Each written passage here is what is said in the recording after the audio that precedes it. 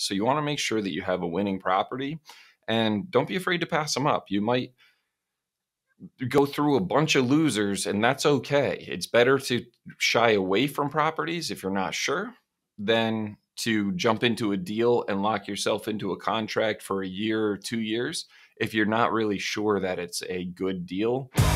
Welcome to Arbitrage to Equity, the show where you'll learn the exact tools, techniques, and action steps that people are using every day to build true passive income that transforms their lives and the lives of their families. I'm your host, Tom Swan. Now let's get down to details. What's up, guys? In this episode, I'm going to go over how to comp a property. It is probably the most frequently asked question that I get asked is how to find a profitable property. So I'm going to go over it uh, right now. So the first thing that I do is I find a list of properties in an area that I'm looking at. So whether that's finding, uh, compiling a list from Zillow, Redfin, for rent by owner, um, or you're working with properties that you're looking to um, purchase if you're in that market, but we're going to focus on arbitrage here. So, what I do is I will make a list from Zillow, I'll compile a list, Zillow, Redfin, for rent by owner, and find an area that I think will be profitable. So then what I'm going to do is I, I, I narrow down where that pool of properties lies and I use Zillow. I use the map on Zillow. I zoom out so I can get a lay of the land and then kind of zoom in where that property falls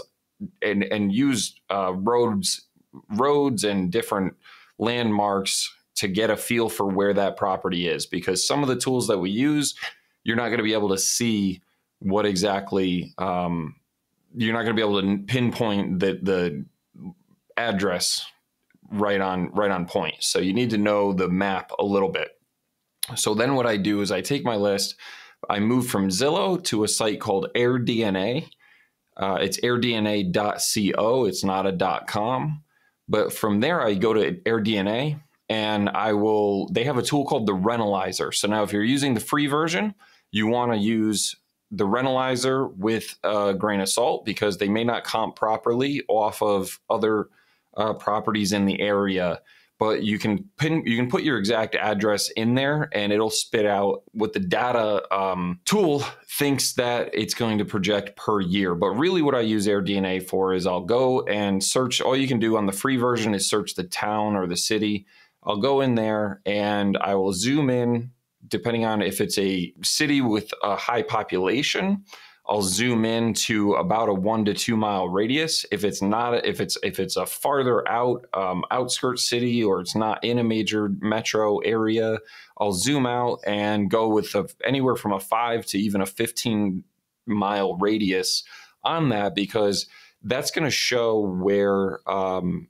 comparable properties are. So, in, in the farther away from a metro you are, the more people are willing to drive and willing to travel. So from there, I'll see how many uh, listings are actually in that area. And when I search around in those, I will actually narrow down. Um, I'll, I'll, I'll, generally, because I always work with single family homes, I'll, there's an option for uh, shared rooms and private rooms on there. So then I'll eliminate those and I'll actually, if it's a three bedroom or four bedroom house, I'll eliminate all the studios and one beds and two beds and then I'll see what kind of properties are actually in the area so that I can get a feel for uh, how many properties are there, how many actual new listings there are. So, with new listings, if there's a lot of them, then it's not really a proven area. If there's a lot of listings that have, you know, 50 or so reviews on them, then they're going to show that it's actually kind of a proven area. There's been houses that have been around there, there's travel to that area so you can actually go there. So from there, uh, the other thing that I'm looking at is how many beds and how many guests that that house actually has. So after that, I moved to a website called Mashvisor. It's mashvisor.com. There's a free version. You may need to pay for a version for uh, one month or two months while you're comping properties. I think it's around $50 a month. But from there, you can use Mashvisor and you can actually sort by price. And what it, that'll show you is your occupancy rate. So I combine data across three different sites AirDNA, Mashvisor, And once you're on Mashvisor, you're searching. If you sort it by price, high to low, you can search for warehouses start to go into the 60 to 70% range booked. And from there, you can see what uh, what house, how many bedrooms you have, how many beds and baths, and and how big the houses are, and and you'll get an idea of what area they're in, and you can kind of organize based off of that to see if your houses fall in that area or not.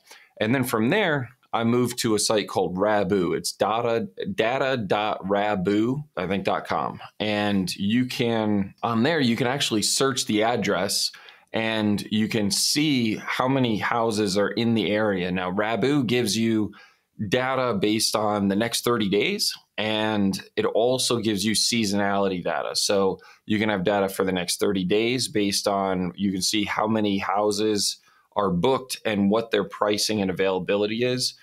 And then you can also go and look at the seasonal data, and it'll tell you a rough average based on the percentage of occupancy where you fall in the you know if, if it's in the 50% range if it's in the 75% range of all properties so it'll actually give you data based on how many different properties are there and how they're performing so across all these three platforms is how i comp properties out and i will actually combine my data across all three. There's not one that's going to give you exact information, and there's not any definite way to say, like, this is definitely going to be a winner or this is definitely going to be a loser. You have to kind of comp all three sites. You have to decide for yourself whether that's going to be a winning property or not.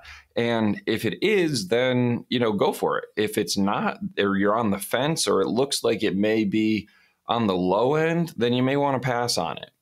The the best properties or the best deals sometimes are the ones that you don't take.